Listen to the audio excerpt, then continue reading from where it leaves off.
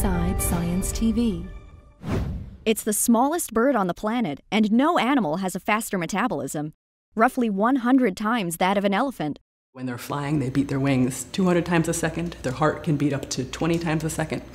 And when they're feeding, they can stick their tongue, tongues out 17 times a second. To keep their speedy pace, a hummingbird's main fuel and food for survival is sugar. The main source of their energy is from carbohydrates in nectars. But here's the thing that stumped scientists like Maude Baldwin at Harvard University for years. She knows hummingbirds have a taste for sweets, but they shouldn't because, like other birds, they lack sweet taste receptors on their tongues. So, in theory, they shouldn't be tempted by sugary tastes. We wanted to see if hummingbirds actually taste sugar or if they were just attracted to the, the calories in the, in the nectar, if it was like they were getting like a sugar high. In an experiment, researchers put out bird feeders.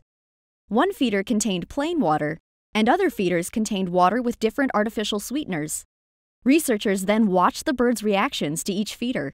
We used high speed cameras to figure out how quickly they could discriminate between water and sugar. The birds quickly rejected the plain water and all other artificial sweeteners, except one that's used as sweetener in toothpaste.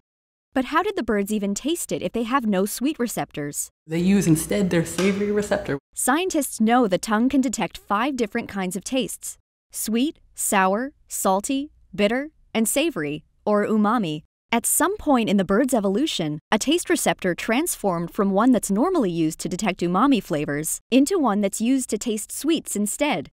Hummingbirds had to re evolve a new way to taste the, the carbohydrates or the sugars in the nectar. The sweet mystery solved. This is Inside Science TV.